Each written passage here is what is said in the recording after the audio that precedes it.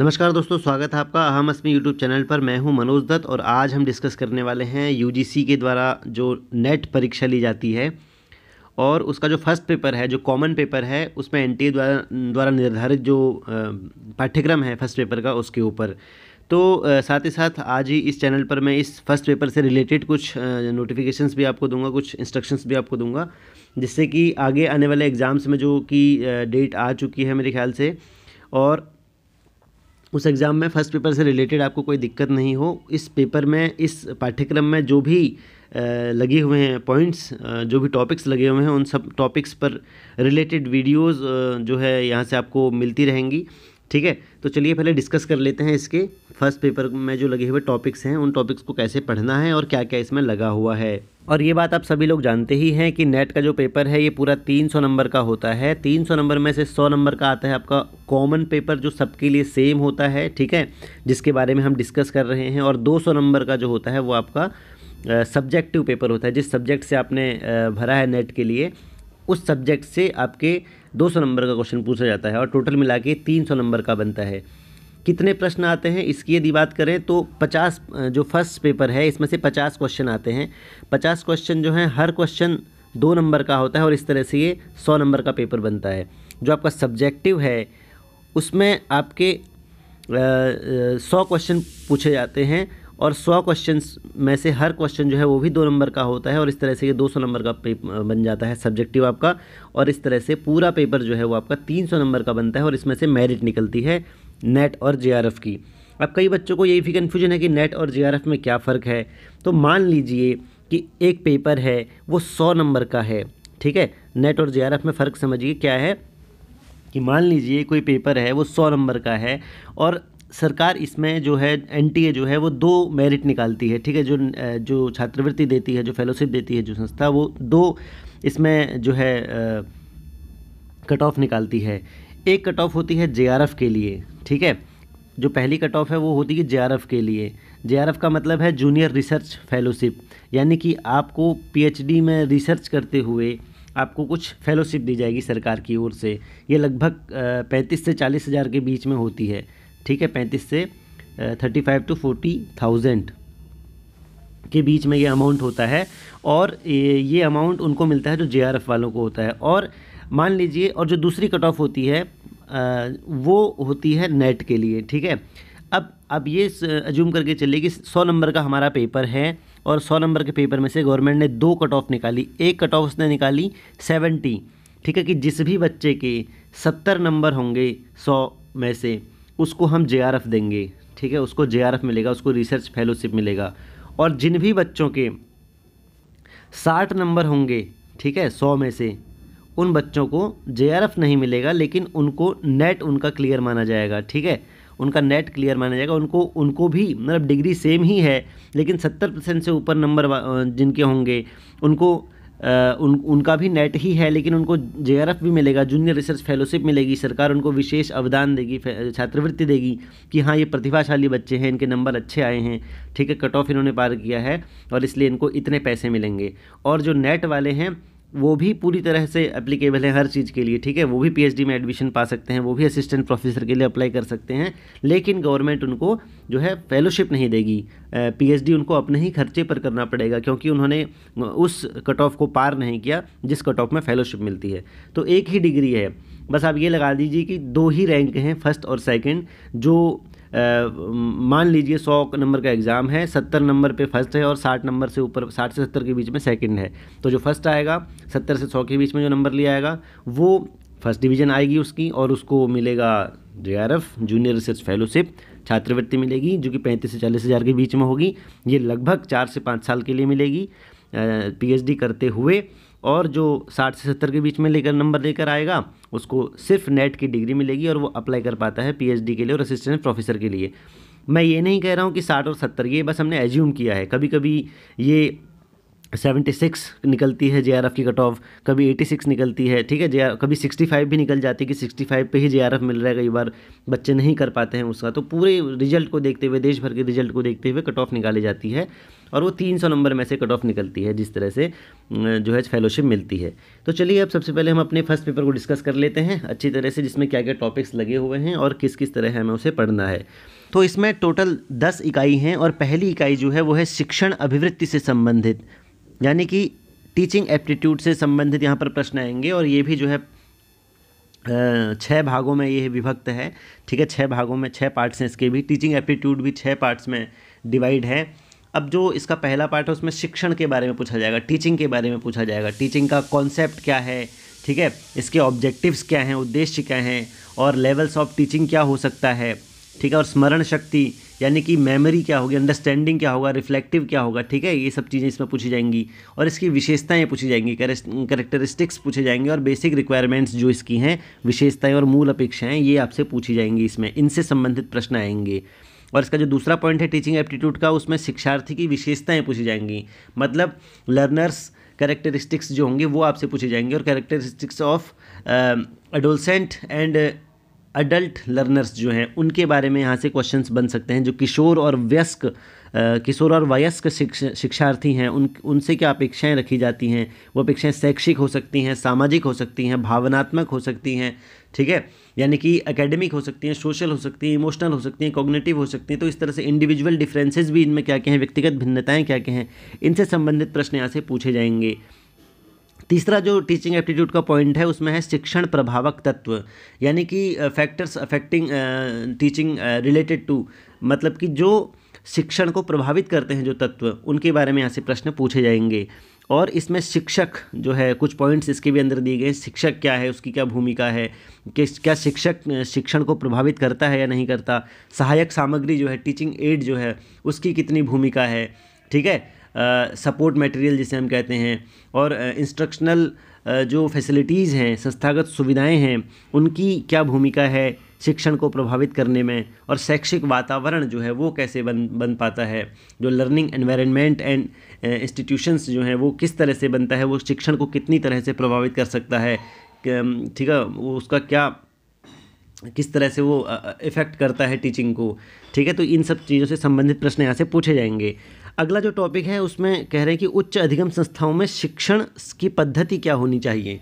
ठीक है methods of teaching in institutions of higher learning जो उच्च अधिगम संस्थाएँ हैं कॉलेज जो मतलब हाँ जो कॉलेज से रिलेटेड जो जहाँ पे कॉलेज से संबंधित पढ़ाई होती है, ठीक है बीए एमए या इस तरह से पीएचडी ये सब चीज़ें यहाँ पर पढ़ाई जाती हैं हायर एजुकेशन जहाँ पर होती है, वहाँ पर शिक्षण की पद्धति कैसी होनी चाहिए? क्योंकि आप अगर बीएड के लिए पढ़ते हैं तो बीएड में शिक्षण की पद्धति बिल्कुल अलग होती है, उसमें शिक्षण की जो है सिद्धांत अलग होते हैं, विधियाँ होती हैं, कुछ कुछ उसके सूत्र होते हैं शिक्षण के सूत्र होते हैं ठीक है? उन तरीक़ों से वहाँ पर पढ़ाया जाता है। अब कॉलेज की पढ़ाई में और स्कूल की पढ़ाई में बहुत अंतर होता है। तो यहाँ पर शिक्षण की पद्धति क्या होनी चाहिए? तो वही यहाँ पर बता रहे हैं कि teacher centred versus learner centred methods जो होंगे उन वो, वो कौन कौन से हो सकते हैं? उन पर हमें चर्चा करनी है।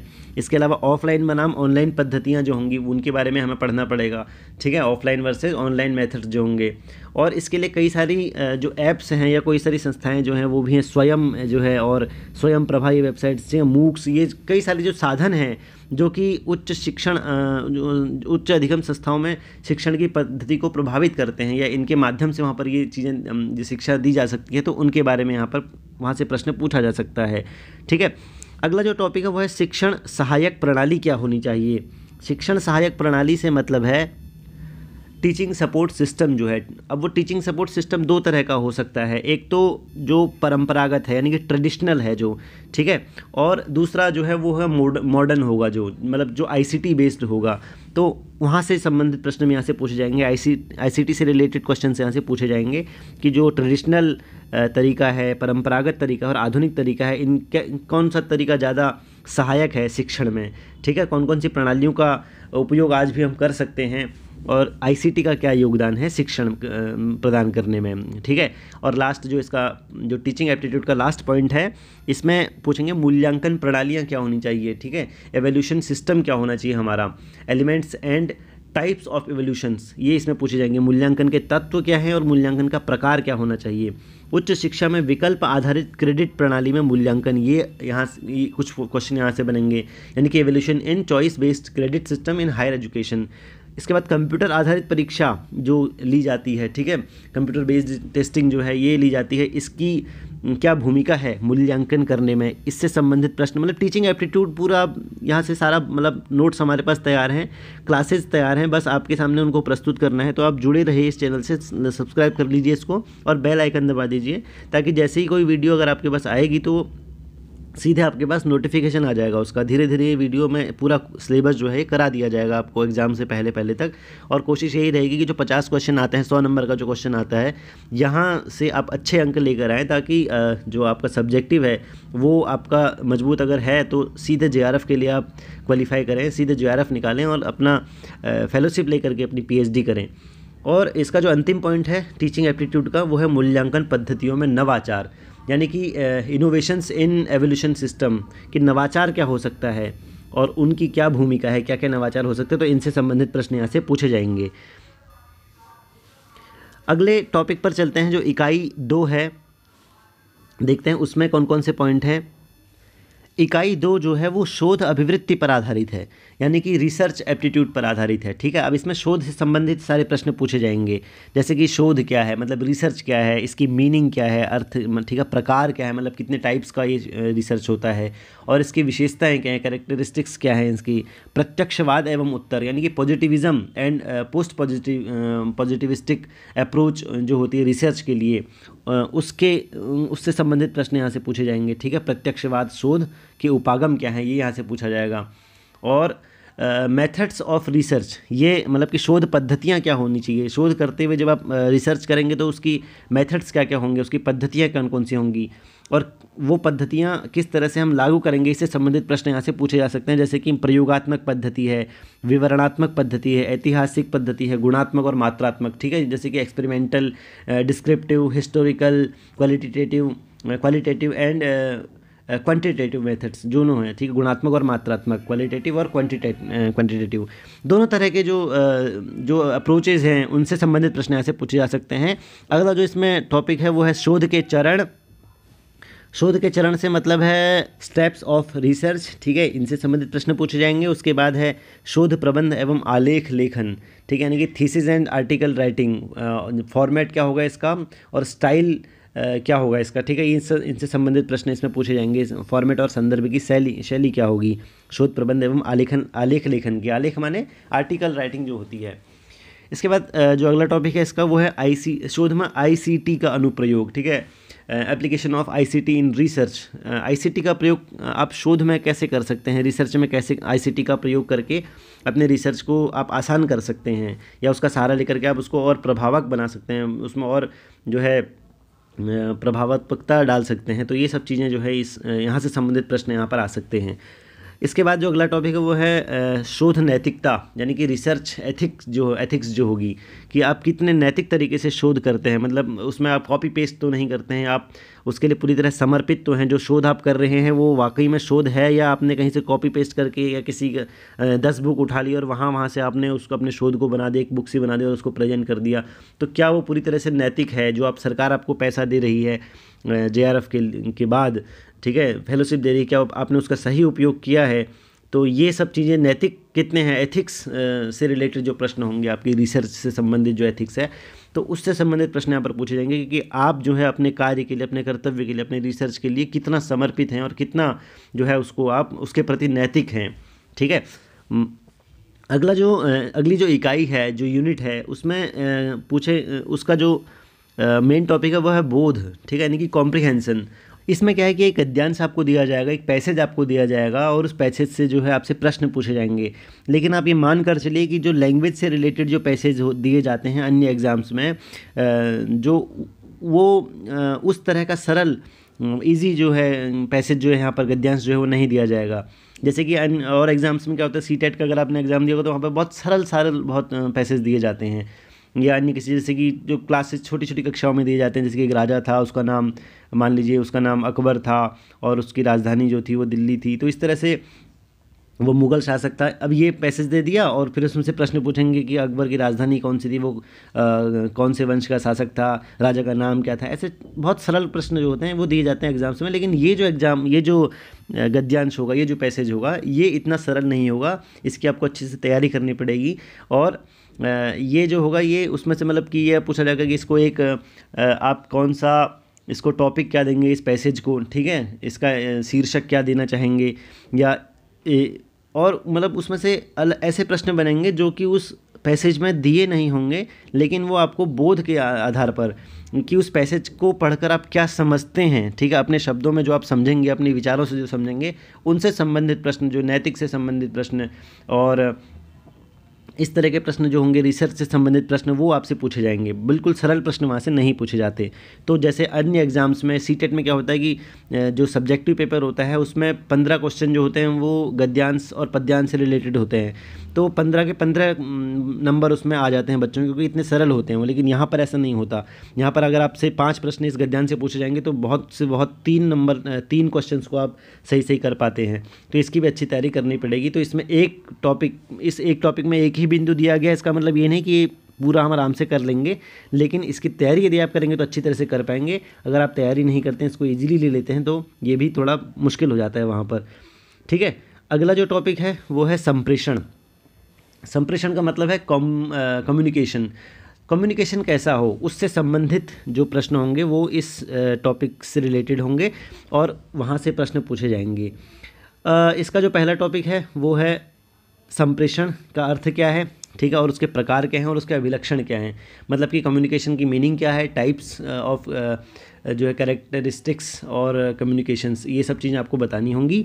इसके बाद मतलब वहाँ पे लिखना नहीं है, इससे संबंधित प्रश्न होंगे और प्रश्न में चार ऑप्शन होंगे, उनमें से एक ऑप्शन में छाटना है। अगला जो टॉपिक है वो है प्रभावी संप्रेषण, वाचिक एवं गैर। यानी कि इफ़ेक्टिव कम्युनिकेशन कैसा होगा? वर्बल और नॉन वर्बल ठीक है, इस तरह से। या इंटरकल्चरल और एंड ग्रुप कम्युनिकेशंस ये जो होंगी, ठीक है, वाचिक और अंत सांस्कृतिक, यानी कि इंटरकल्चरल और सामूहिक संप्रेषण। यानी कि सामूहिक संप्रेषण का मतलब ग्रुप ग्रुप कम्युनिकेशन जो होगा। और कक्षा संप्रेषण, माने कि क्लास रूम कम्युनिकेशन जो होगा, इससे संबंधित कुछ प्रश्न आपसे पूछे जाएँगे। अगला जो टॉपिक है वो है प्रभावी संप्रेषण की बाधाएँ कौन कौन सी हैं?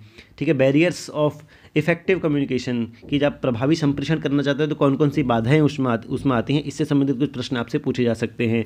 और जो संप्रेषण का जो एक साधन है मीडिया और समाज, ठीक है तो जन मीडिया और समाज मास मीडिया एंड सोसाइटी जो है यहाँ से किस तरह संप्रेषण प्रभावी हो सकता है या इन बाधाओं को किस तरह दूर किया जा सकता है, इस तरह के प्रश्न यहाँ से बनते हैं। तो ये सारी चीज़ें यहाँ से बताई जाएँगी, एक एक टॉपिक यहाँ से बताया जाएगा। अगले टॉपिक पर चलते हैं। अगले टॉपिक में कह रहे हैं, गणितीय तर्क एवं अभिवृत्ति जाएँगे, यानी कि मैथमेटिकल रीजनिंग एंड एप्टीट्यूड यहाँ से संबंधित यहाँ से प्रश्न पूछे जाएँगे। जिसमें पहला जो टॉपिक है, वो है तर्क के प्रकार, ठीक है टाइप्स ऑफ़ रीजनिंग तो रीजनिंग से संबंधित प्रश्न यहाँ पर पूछे जाएँगे और संख्या श्रेणी, अक्षर श्रृंखला, कूट और संबंध। गणितीय अभिवृत्ति, जिसमें कि अंश, समय और दूरी, अनुपात, ठीक है, और ये समाना, समानुपात, प्रतिशतता, लाभ और हानि, ब्याज और छूट, इनसे संबंधित प्रश्न यहाँ पर पूछे जाएँगे। जैसे कि मैं आपको बता देता हूँ, इंग्लिश में फ्रैक्शंस है टाइम एंड डिस्टेंस जिसे हम कह सकते हैं अनुपात का मतलब रेशियो समानु, समानुपात का मतलब जो प्रोपोर्शन एंड जो परसेंटेज है, ठीक है, ये इनसे संबंधित प्रश्न होंगे। लाभ और हानि यानी कि प्रॉफिट एंड लॉस यहाँ से संबंधित प्रश्न होंगे। इंटरेस्ट एंड डिस्काउंटिंग जो होता है, ब्याज और छूट, इसमें से संबंधित प्रश्न यहाँ से पूछे जाएँगे और एवरेजेज जो होती है, औसत जो होती है, यहाँ से संबंधित प्रश्न होंगे। मैं आपको पहले ही बता दूँ कि गणितीय तर्क और अभिवृत्ति, इस फिफ्थ जो इकाई है, इसकी जो पाँचवीं जो इकाई है इस फिफ्थ यूनिट के लिए आप किसी अन्य यूट्यूब प्लेटफॉर्म का सहारा ले सकते हैं ठीक है? आप कहीं और जा सकते हैं इस प्लेटफॉर्म पर इस चैनल पर आपको इससे संबंधित प्रश्न यहाँ पर नहीं बताया जाएगा। इससे संबंधित कोई भी नोट या नोटिफिके कोई भी जो नोट्स हैं वो यहाँ पर प्रोवाइड नहीं हो सकते हैं क्योंकि जो चैनल है हमारा ये संस्कृत से संबंधित है और संस्कृत से संबंधित सारी जानकारियाँ इसमें दी जाती हैं। और क्योंकि संस्कृत वालों को भी फ़र्स्ट पेपर देना होता है तो फ़र्स्ट पेपर के लिए जो आ, जो आवश्यक है इसको क्लियर करना और इसको जो क्लियर नहीं कर पाते तो जे रुक जाता है। तो इसीलिए इस पेपर को यहाँ पर डिस्कस किया जा रहा है। मेरा ये मानना है कि बहुत अच्छे से अच्छे टीचर्स जो कि लॉजिक से जिन्होंने कि लॉजिक में, गणितीय तर्क में रीजनिंग में और इन अभिवृत्ति, इन सब चीज़ें एप्टीट्यूड में, बहुत सारी चीज़ें उनको अच्छी तरह से पता हैं और एक्सपर्ट हैं तो वो और अच्छी तरह इसको पढ़ा सकते हैं। हालाँकि और जो अन्य चीज़ें हैं, वो मैं आपको यहाँ पर बहुत अच्छी तरह से बताऊँगा, उसके लिए आपको कहीं और जाने की ज़रूरत नहीं है। लेकिन गणितीय तर्क और अभिवृत्ति के लिए आपको किसी और चैनल का सहारा लेना पड़ेगा, किसी और प्लेटफॉर्म पर आपको जाना पड़ेगा, ठीक है? तो उसके लिए मैं आपसे माफ़ी चाहता हूँ। अगले टॉपिक पर चलते हैं। अगले जो, हमारा जो अगला टॉपिक है, वो है युक्त युक्त तर्क। यानी कि जो रीजनिंग से संबंधित है और मतलब लॉजिकल रीजनिंग जो होगी, इससे संबंधित यहाँ पे प्रश्न पूछे जाएँगे। और ये यहाँ पर मैं आपको बताऊँगा। इसमें सारी चीज़ें यहाँ पर बताई जाएँगी। युक्त युक्त तर्क का जो पहला टॉपिक है, वो है युक्ति के ढांचे का बोध, यानी कि आपको अंडरस्टैंडिंग होनी चाहिए स्ट्रक्चर ऑफ़ आर्ग्यूमेंट की, ठीक है? युक्ति के रूप क्या होंगे? निरूपाधिक तर्कवाक्य का ढांचा, अवस्था और आकृति, ठीक है? इनसे संबंधित प्रश्न यहाँ पर पूछे जाएँगे। स्ट्रक्चर ऑफ़ कैटेगोरिकल प्रोपोजिशंस जो है, इनसे संबंधित कुछ प्रश्न होंगे। अब ये प्रश्न कई तरह के हो सकते हैं, जैसे कि अब आगे देखेंगे, आप युक्ति के प्रकार जो है, निगमनात्मक और आगमनात्मक, ठीक है? यानी कि डिटेक्टिव और इंडक्टिव जो रीजनिंग है, ये सब चीज़ें, तर्क, ये पूरी जैसे आपने न्याय दर्शन अगर आपने पढ़ा है फिलोसफी ऑफ़ न्याय अगर आपने थोड़ी सी उसके बारे में जानकारी है तो उसमें क्या होता है कि अनुमान, प्रमाण जब हम पढ़ते हैं तो उसमें दूसरे को बताने के लिए कुछ वाक्यों का सहारा लेना पड़ता है, ठीक है? दूसरे को ज्ञान कराने के लिए अनुमान, प्रमाण द्वारा। जैसे कि तीन चार वाक्य जैसे पाँच वाक्य होते हैं उसमें, लेकिन तीन मुख्य होते हैं, प्रतिज्ञा, हेतु और उदाहरण। प्रतिज्ञा में वो कहते हैं कि भाई पर्वत पर आग है, कोई हम जा रहे हैं और दो लोग जा रहे हैं और दूर उनको दिखता है कि पर्वत पर धुआँ उठ रहा है, बहुत दूर एक पहाड़ी है वहाँ से धुआँ निकल कर आ रहा है। तो वो बोलते हैं, भाई पर्वत पर आग है। तो उसका हेतु देते हैं, उसका कारण देते हैं क्योंकि वहाँ पर धुआँ है और उसके उदाहरण के रूप में बोलते हैं कि जहाँ जहाँ धुआँ होता है वहाँ वहाँ आग होती है, जैसे कि रसोई घर में। तो पुराने ज़माने में लकड़ी से ही आग जलाई जाती थी, रसोई घर में लकड़ी का ही प्रयोग होता था तो उसी टाइम के उदाहरण भी हैं ये। तो कह रहे हैं कि जैसे जहाँ जहाँ धुआँ होता है, वहाँ वहाँ आग होती है, जैसे कि रसोई घर में। तो इससे ये बात फिक्स हो जाती कि इस पर्वत पर भी हमें धुआँ दिख रहा है, इसीलिए वहाँ पर आग है। अब हम वहाँ पर्वत पर गए नहीं, दूर से धुएँ धुएँ को देख ही हमने अनुमान लगा दिया तो ये एक वैलिड लॉजिक होगा। ठीक है? तो इस तरह से कई जो हैं, अन्य जो है लॉजिक्स बनते हैं। अब उसमें कुछ जो कुछ वैलिड होते हैं, कुछ इनवैलिड होते हैं, ठीक है? जैसे कि एक लॉजिक है कि नेता जो होते हैं, वो भ्रष्ट होते हैं, और दूसरा वाक्य दिया कि ओबामा भी जो है एक नेता है, ठीक है? या कोई भी किसी भी नेता का नाम ले लीजिए कि, मान लीजिए जो बाइडन एक नेता है, और इसका जो रिज़ल्ट निकला कंक्लूजन निकला इन दो वाक्यों का, इसका मतलब ये है कि जो बाइडन भी जो है वो भ्रष्ट हैं। ठीक है? तो ये जो कंक्लूजन हमने निकाला तो क्या वो एक सही कंक्लूजन है जो ऊपर के जो दो वाक्य दिए गए थे, उन पर उन, उनके उनको आधार मानकर कि सभी नेता भ्रष्ट हैं, जो बाइडन भी एक नेता है, अतः जो बाइडन जो है वो भ्रष्ट हैं। तो इस तरह से एक सही लॉजिक नहीं है। ठीक है? तो ये इनवैलिड हो जाएगा, कि जो आपका कंक्लूजन है, वो आपके प्रेमिसिस पर जो है, वो बेस्ड नहीं है, उन, उनसे मेल नहीं खा रहा है, पूरी तरह से उनको व्याख्यात नहीं कर रहा है। तो इस तरह के प्रश्न ऐसे पूछे जाएँगे कि आपको ऐसी तरह के वाक्य दिए जाएँगे और पूछा जाएगा कि क्या ये जो कंक्लूजन है, ये ऊपर दिए वाक्यों पर जो है मेल खा रहा है या नहीं खा रहा है, क्या उसकी सही व्याख्या है या नहीं है? इस तरह के प्रश्न ऐसे पूछे जाते हैं। ठीक है? निगमनात्मक और आगमनात्मक युक्ति का मूल्यांकन, जो इसमें लिखा हुआ है, और विशिष्टीकरण जो है इसका मतलब है कि जो इवोल्यूशन है, उसकी जो डिटेक्टिव और इंडक्टिव जो रीजनिंग होगी, उससे संबंधित यहाँ से प्रश्न पूछे जाएँगे। अनुरूपताएँ यानी कि एनालॉजीज एनालॉजीज जो है, उनसे संबंधित प्रश्न होंगे। अगला जो टॉपिक है, वो है वेन आरेख, ठीक है? मैंने यानी कि वेन डायग्राम जो है। अब इसमें simple and multiple use of establishing validity of arguments इनके संबंधित जो प्रश्न होंगे वो आपसे पूछे जाएँगे। यानी कि तर्क की वैधता सुनिश्चित करने के लिए वेण आरेख का सरल और बहुप्रयोग। ये बहुत फ़ेमस ये जो है डायग्राम है। जो और बहुत सारी चीज़ों को इसी के माध्यम से डिफाइन भी किया जाता है कि वेण आरेख के माध्यम से इसको स्पष्ट कीजिए, इसको जो है सिद्ध कीजिए। तो यहाँ से संबंधित प्रश्न इस पर बनते हैं, वो आपको यहाँ पर बताया जाएगा। अगला जो टॉपिक है वो है भारतीय तर्कशास्त्र, यानी कि इंडियन लॉजिक और ज्ञान के साधन जो इसमें दिए गए हैं, उससे संबंधित प्रश्न यहाँ पर पूछे जाएँगे। भारतीय तर्कशास्त्र जो है इसमें परमाणु की संख्या अलग अलग दर्शन के हिसाब से अलग अलग परमाणु की संख्या मानी गई है। जैसे चारवाक एक ही प्रमाण मानता है, प्रत्यक्ष और जो सांख्य योग है वो तीन प्रमाण मानता है, प्रत्यक्ष, अनुमान और शब्द को, ठीक है? लेकिन न्याय जो है वो चार प्रमाण मानता है। मीमांसा जो है वो पाँच प्रमाण मानता है। तो इस तरह से जो अलग अलग प्रमाणों की संख्या अलग अलग दर्शनों के हिसाब से वो यहाँ पर आपको अच्छी तरह से बताई जाएगी। प्रमाण असल में क्या है? ज्ञान प्राप्त करने के साधन हैं कि जो हम, जो हमें कोई भी ज्ञान होता है, मान लीजिए हमें ज्ञान हुआ कि मेरे सामने लैपटॉप रखा हुआ है तो ये लैपटॉप है, ये जो ज्ञान हमें हुआ, या यह पेन है, ऐसा जो ज्ञान हमें हुआ यह यह ज्ञान हमें किस कैसे प्राप्त हुआ? ठीक है, इसका साधन क्या था इस ज्ञान का? और उसके बाद जो अगला प्रमाण है, अनुमान तो वहाँ से संबंधित प्रश्न भी बनते हैं, वो भी एक बड़ा टॉपिक है तो अनुमान के बारे में भी यहाँ पर अच्छी तरह से आपको बताया जाएगा। अनुमान की संरचना कैसे होती है, ठीक है? स्ट्रक्चर ऑफ़ काइंड ऑफ़ अनुमान। इसके प्रकार क्या हैं, ठीक है? और व्याप्ति किसे कहते हैं हेत्वाभास किसे कहते हैं? क्योंकि जब अनुमान, मैंने आपको अभी तीन चीज़ें बताई कि प्रत्यक्ष की जो प्रतिज्ञा, हेतु और उदाहरण, ठीक है? जो प्रतिज्ञा की गई कि पर्वत पर आग है, फिर हेतु दिया गया क्योंकि वहाँ पर धुआँ है तो ये हेतु कई बार इसमें हेतु नहीं होता है, लेकिन हेतु का आभास हमें हो जाता है। ठीक है? जो कि हेत्वाभास जिसे कहते हैं। तो जो हेत्वाभास वो होता है कि हेतु असल में वो सही नहीं है, लेकिन हमें आभास हो रहा है कि यही हेतु है तो उसे हेत्वाभास कहते हैं, जो कि गलत होता है। ठीक है तो पाँच प्रकार के हेत्वाभास होते हैं, उनके बारे में यहाँ पर आपको अच्छी तरह से सब कुछ यहाँ पर बताया जाएगा। तो क्योंकि ये टॉपिक्स मैं दर्शन का ही विद्यार्थी हूँ और दर्शन से संबंधित जो प्रश्न बनेंगे तो वो मैं आपको अच्छी तरह से यहाँ पर बता पाऊँगा। मेरे पास नोट्स भी इसके रखे हुए हैं तो आप चिंता मत करिए इस टॉपिक से रिलेटेड जो प्रश्न आएँगे, वो हम अच्छी तरह से हल कर लेंगे। ठीक है, अगला जो टॉपिक है, वो है आंकड़ों की व्याख्या, ठीक है? यानी कि डाटा इंटरप्रिटेशन जो है, वो उससे संबंधित प्रश्न ऐसे पूछे जाएँगे। और ये भी मैं आपको बता देता हूँ कि ये जो टॉपिक है डाटा इंटरप्रिटेशन आंकड़ों की व्याख्या, ये भी आपको इस चैनल पर नहीं मिलेगा। इस चैनल पर आपको ये नहीं, ये टॉपिक क्लियर नहीं करवाया जाएगा क्योंकि इससे संबंधित जो जो एक्सपर्ट होते हैं, वो अभी हमारे पास नहीं है तो इसके लिए भी आपको किसी और प्लेटफॉर्म का सहारा लेना पड़ेगा, ठीक है? आंकड़ों का स्रोत क्या है? प्राप्ति और वर्गीकरण, गुणात्मक एवं मात्रात्मक आंकड़े, ठीक है? जो भी चीज़ें हैं सोर्सेज मतलब कि ग्राफिकल जो रिप्रेजेंटेशंस हैं, इनके बारे में हम पढ़ेंगे। चित्रवत वर्णन जो होगा इसका। बार चार्ट क्या है? Histogram pie chart table chart रेखा चार्ट ये अलग अलग प्रकार हैं उसके। तो इनके बारे में हम जानेंगे। और मैपिंग ऑफ़ डाटा ठीक है? आंकड़ों का मान जो है, चित्रण जो है, इसके बारे में जो है, प्रश्न यहाँ से बनेंगे। आंकड़ों की व्याख्या कैसे की जाती है और आंकड़ों आंकड़े और सुशासन कैसे होता है? मतलब कि डाटा एंड गवर्नेंस क्या होती है? वहाँ से प्रश्न बनेंगे और डाटा इंटरप्रिटेशन से प्रश्न बनेंगे, आंकड़ों की व्याख्या जो है। तो ये टॉपिक के लिए भी आपको किसी और प्लेटफॉर्म का सहारा लेना पड़ेगा। अगला जो टॉपिक है, वो है सूचना और संचार प्रौद्योगिकी, यानी कि आईसीटी ठीक है? Information and communication technology technology और यहाँ से संबंधित जो भी प्रश्न बनेंगे, वो भी मैं आपको अच्छी तरह से बताऊँगा। सारी चीज़ें हमारे पास हैं पहले से ही और अच्छी तरह से हमने पढ़ा भी हुआ है इसको तो मैं अच्छी तरह से आपको बताऊँगा।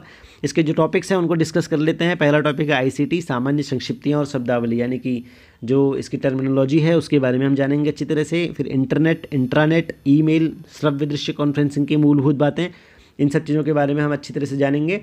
उसके बाद है digital initiatives in higher education जो शिक्षा में डिजिटल पहले हैं, वहाँ से संबंधित प्रश्न जो बनते हैं, उनको हम समझेंगे और आईसीटी और सुशासन, यानी कि आईसीटी और गवर्नेंस एंड गवर्नेंस जो चीज़ है, इस टॉपिक के बारे में अच्छी तरह से जानेंगे तो यहाँ से संबंधित प्रश्न भी आपके बनेंगे, इस फ़र्स्ट पेपर में कॉमन पेपर में, ठीक है? अगला जो यूनिट है, अगली जो यूनिट है, उसमें कह रहे हैं भाई, लोक, लोग विकास और पर्यावरण, ठीक है? ये एक बहुत बड़ा टॉपिक है और बहुत महत्वपूर्ण टॉपिक भी है पीपल डेवलपमेंट एंड एनवायरनमेंट ठीक है?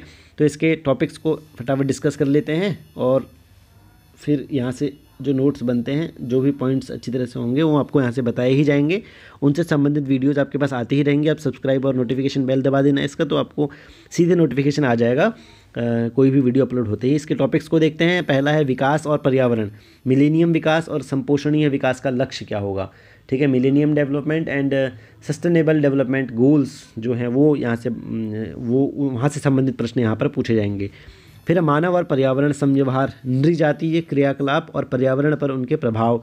तीसरा टॉपिक है पर्यावरण परक मुद्दे, स्थानीय मुद्दे, क्षेत्रीय क्षेत्रीय मुद्दे और वैश्विक मुद्दे जो हैं। इसके अलावा वायु प्रदूषण, जल प्रदूषण, मृदा प्रदूषण, ध्वनि प्रदूषण, अपशिष्ट। अपशिष्ट का मतलब क्या है? जो वेस्ट है, जो सॉलिड हो सकता है लिक्विड हो सकता है बायोमेडिकल हो सकता है, ठीक है? तो इन सब चीज़ों से संबंधित जो होगी, वो जोखिम पूर्ण होगा इलेक्ट्रॉनिक जो वेस्ट है, ये क्या इनका जो है जो है विकास में, लोगों के, और लोग में, और विकास में, पर्यावरण में क्या इनका जो है एक तरह से योगदान तो हम नहीं कहेंगे, लेकिन इनकी क्या भूमिका है? ठीक है उनसे संबंधित प्रश्न यहाँ से पूछे जाएँगे।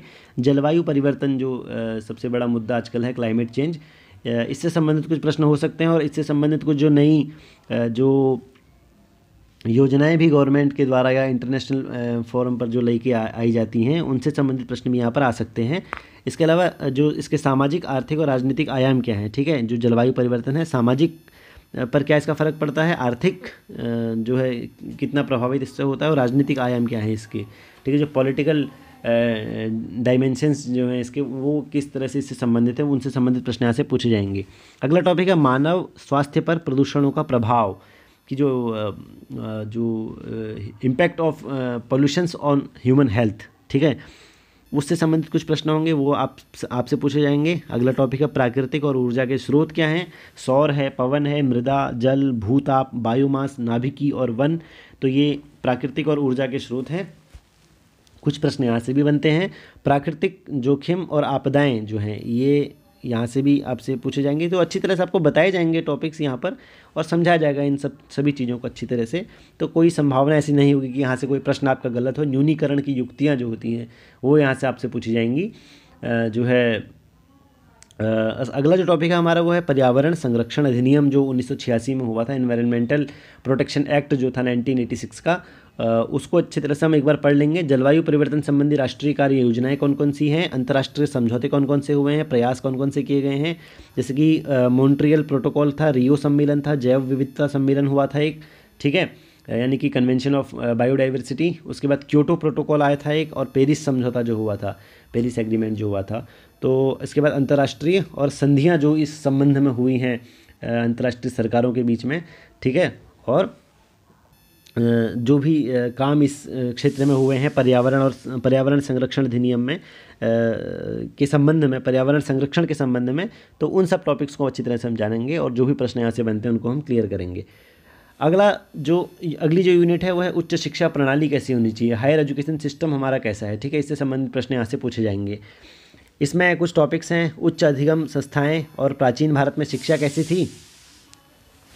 इसके बाद स्वतंत्रता के बाद भारत में उच्च अधिगम और शोध का उद्भव कैसे हुआ? भारत में प्राच्य पारंपरिक और गैर पारंपरिक अधिगम कार्यक्रम क्या क्या थे? और या क्या क्या हैं? व्यावसायिक तकनीकी और कौशल आधारित शिक्षा क्या है? मूल्य आधारित शिक्षा और पर्यावरण परक शिक्षा और नीतियाँ, सुशासन, राजनीति और प्रशासन, इन सब चीज़ों के बारे में जानेंगे अच्छी तरह से। ठीक है, बड़ा मज़ा आएगा अच्छी तरह से पढ़ेंगे। ये तो बहुत जो है किसी के भी फेवरेट टॉपिक्स हो सकते हैं और बहुत सारी जानकारियाँ इनको पढ़ने से आपको मिलेंगी। सिर्फ़ नेट का एग्ज़ाम आपको देना है इसीलिए ही आप इनको पढ़ें, ऐसा ज़रूरी नहीं है। अगर आप स्वतंत्र रूप से भी इनको पढ़ेंगे तो बहुत सारी नॉलेज जो है यहाँ से मिलती है। नेट किसी भी सिलेबस से किसी भी नेशनल लेवल के सिलेबस से आपको बहुत सारी जानकारियाँ भी मिल सकती हैं। आप ज़रूरी नहीं कि एग्ज़ाम पास करने के लिए ही उनको पढ़ें। अब जो मुख्य बात है उसको अच्छी तरह से हम समझ लेते हैं। दस की दस इकाइयाँ हमने अच्छी तरह से जान ली हैं। मुख्य जो बात है वो ये है कि दस यूनिट इसमें पूछी गई हैं और प्रत्येक यूनिट से जो है पाँच प्रश्न बनेंगे, ठीक है? प्रत्येक यूनिट से पाँच प्रश्न बनेंगे जो कि दो दो अंकों के होंगे। तो दस यूनिट है हमारे पास और हर यूनिट से पाँच पाँच प्रश्न बनेंगे, ठीक है? तो दस गुणा पाँच हो गया कितना? पचास। और पचास में से हर क्वेश्चन जो होगा वो दो दो अंक का होगा तो ये हो जाएगा इस तरह से सौ नंबर का प्रश्न, ठीक है? तो सौ नंबर का एग्ज़ाम ये होगा और हर यूनिट से पाँच प्रश्न पूछे जाएँगे और हर प्रश्न जो होगा वो दो दो अंक का होगा। और ये जो दृष्टिवान परीक्षार्थी जो हैं, ठीक है, उनके लिए तो कुछ ग्राफ के वाले, चित्र वाले प्रश्न भी होते हैं, लेकिन जो दृष्टिबाधित परीक्षार्थी हैं, ठीक है, उनके लिए चित्र वाले प्रश्न नहीं होंगे, ग्राफ वाले प्रश्न नहीं होंगे, उनके लिए उतने ही अंकों वाले कुछ अन्य प्रश्न दे दिए जाएँगे, जिससे कि उनको किसी तरह की कोई समस्या ना हो। ठीक है? तो चलिए दोस्तों, मिलते हैं इसके अगले पार्ट में, जहाँ पर अब हम अच्छी तरह से जो है, इससे संबंधित जो प्रश्न होंगे, उनको डिस्कस कर रहे होंगे और जो टॉपिक्स इसमें लगे हुए हैं, उनको अच्छी तरह से हम जान रहे होंगे डिस्कस कर रहे होंगे। और अब समस्या नहीं है, मैंने पेन टैब ले लिया है तो उसी से अब मैं अच्छी तरह से यहाँ पर आपको अच्छी तरह बता पाऊँगा। और कंप्यूटर की स्क्रीन ही मेरा बोर्ड बन जाएगा। पहले एक छोटा सा बोर्ड था तो उससे बहुत सारी दिक्कत होती थी, लेकिन अब पेन टैप से बहुत सारी समस्याएँ जो हैं सॉल्व हो जाएँगी पढ़ाने में या फिर किसी भी टॉपिक को समझने में। तो दोस्तों, मिलते हैं नेक्स्ट वीडियो में। आप शेयर कीजिए इस वीडियो को सब्सक्राइब कीजिए लाइक कीजिए और कॉमेंट ज़रूर कीजिए। इससे उत्साह बढ़ता है मेरा और मेहनत करने का मन करता है। और ज़्यादा साधन और और ज़्यादा जो है आपके लिए नोट्स जुटाने का मन करता है। तो मिलते हैं नेक्स्ट वीडियो में। धन्यवाद। नमस्कार।